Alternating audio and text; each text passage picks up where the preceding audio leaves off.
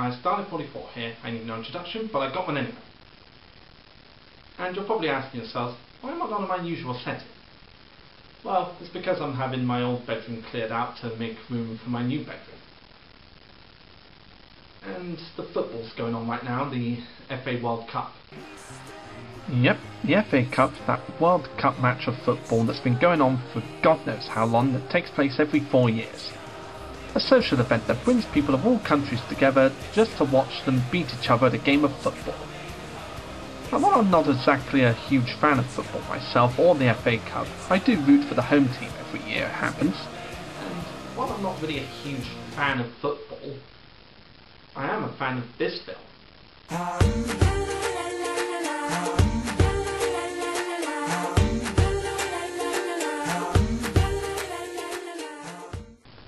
Early Man is a 2018 British stop-motion animated historical sports comedy film directed by Nick Park and Aardman Studios.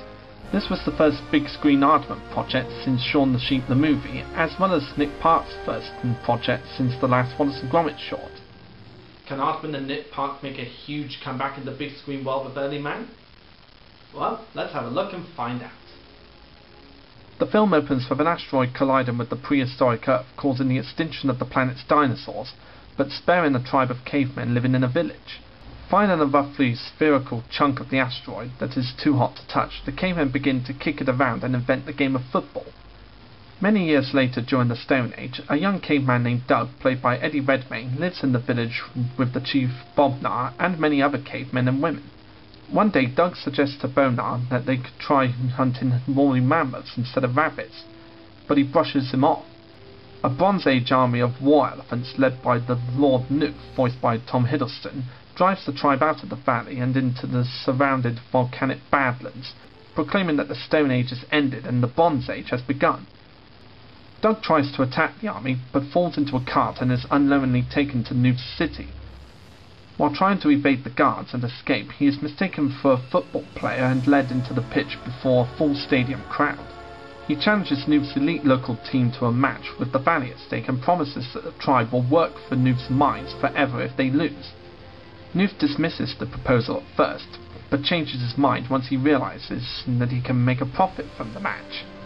Doug discovers that although his ancestors invented football, the other members of his tribe are too dim to understand it, so he tries to teach them the rules of the game with the help of a local resident of the Bronze City named Goona, voiced by Maisie Williams.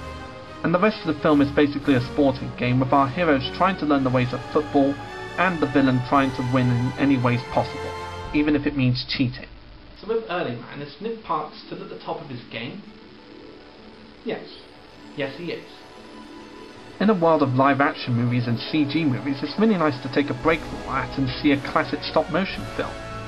And even though these days you can see the fingerprints on the plasticine characters, I really don't care about that, because it's really nice to see an old fashioned animation on the big screen for so long.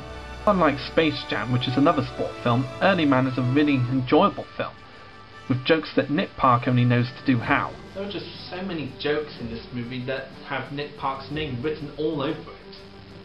Like some you recognise from previous shorts like Wallace and Gromit, Chicken Run, etc., etc., and some new ones that you've never seen from him Let's take him away and kill him. Slowly.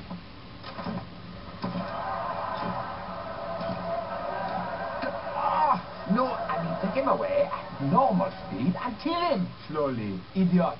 If the film's a sporting story, then it must have characters to drive the plot, and thankfully it does. Our main character, Doug, voiced by Eddie Redmayne, is a Stone Age caveman who's very positive about everything and thinks that the tribe can do anything if they put their minds to it. He was also the one that discovered that his ancestors were playing football long before the Bronze Age citizens were.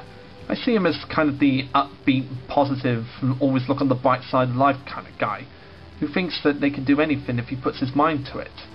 And the actor Eddie Redmayne really brings some good life and energy to this character. There's Chief Bobnar, played by Timothy Spall, who's the tribe's chief. And he's more of the we can't really do much other than hunting rabbits, so why change what we're good at kind of person. At first he's very hesitant to give football a try, but once he sees that his tribe's hearts are pulled to it, then he decides to give it a go, reluctantly. And even though he has very little faith in a lot of Doug's ideas, it's never to the point where he's an unlikable guy. The chief may be the kind of person who doesn't think that he, Doug, and the rest of the tribe can do anything besides rabbit hunting, but it's never to the point where he's an unlikable douchebag. The other members of his tribe include Treebor, Magma, Asbo, Barry, Gravel, Grubup, Eemak, Mr. Rock, and Doug's pet wild boar, Hognob, played by Nick Park. Yep, the Nick Park plays a character in this movie. Dear Diary, jackpot! There's Goona, a tomboyish vendor and football enthusiast in the Bronze City whom Doug befriends. And she's like the streetwise kind of character who knows her way around the Bronze City and knows more about football than the tribe does. And many people would see that she's probably Doug's love interest in the film. And having watched the film many times, I can honestly say that she probably is his love interest, since he seems to be twitter-pated by her when they first meet, and they hug and almost kiss each other in the film. Maisie Williams brings a lot of life to this character, as well as that accent that she gives her.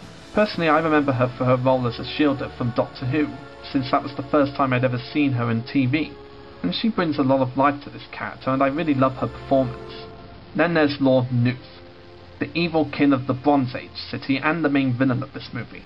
He's the kind of villain who loves money and riches and will do anything to mine for other materials like ore and bronze. And many people have said that Tom Hiddleston is very unrecognisable as the character with that French accent he puts on. Hmm. Excellent. And I honestly agree with them, even though I don't remember seeing Tom Hiddleston in any other projects.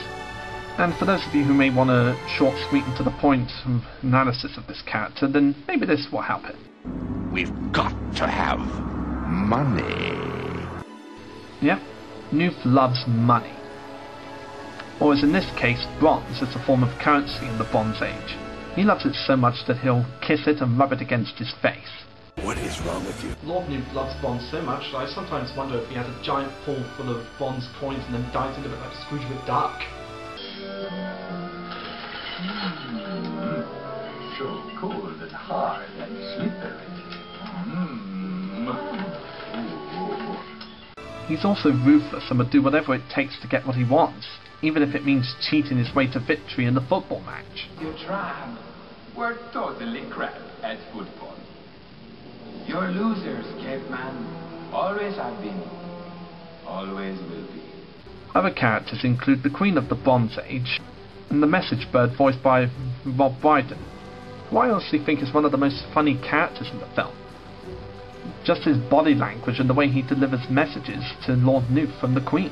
It's almost as if he was watching the Queen make these body movements as if she was actually with Lord Nooth at the time. And Rob Brydon does a great job at bringing this character to life with his many voices. Hello? Hello? How do you use this message bird thing? It's the queen. Just speak into its ear, ma'am. It will mimic everything it hears. No, perhaps she's heard about the game. Of course he hasn't heard about the game. I've heard about the game. you arranging a football match against a bunch of savages? You idiot! Imagine if we lost. We would. I said imagine it. Exactly. The mighty Bronze Age brought to its knees by a bunch of cavemen.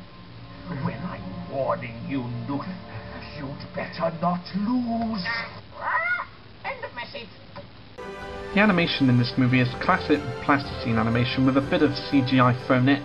The CG animation for Early Man is only used for certain things in the movie, like some of the backgrounds and other visual effects.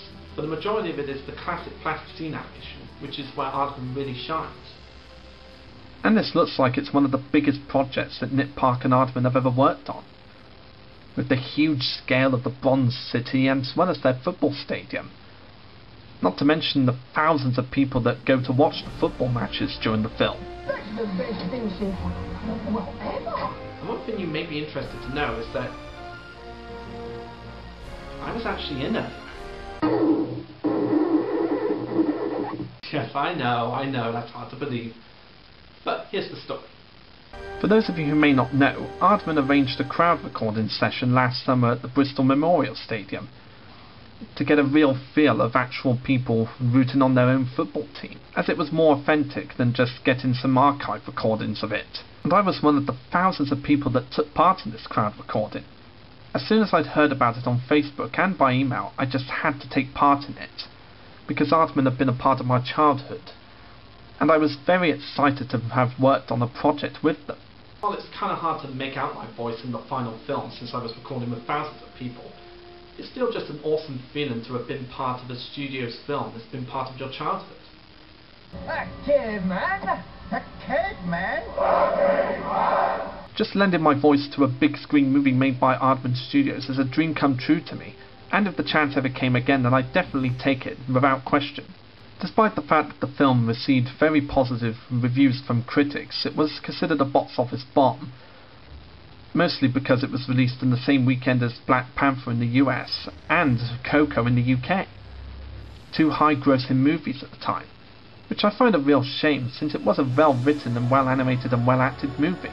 And it is a real shame that it didn't get as much ratings due to being released on the same weekend as Black Panther and Coco.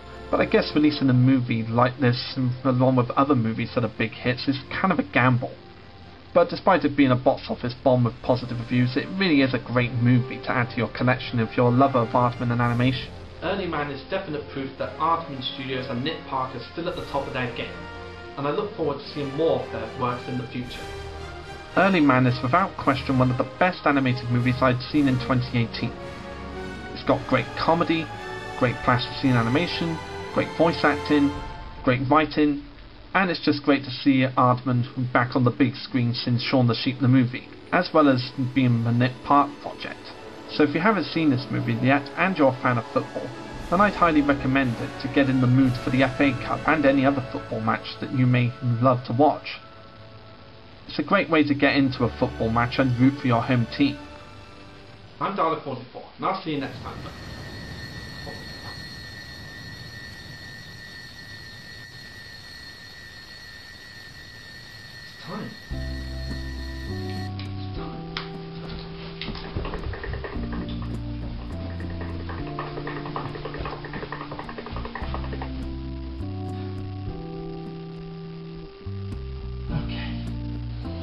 Let's see what you look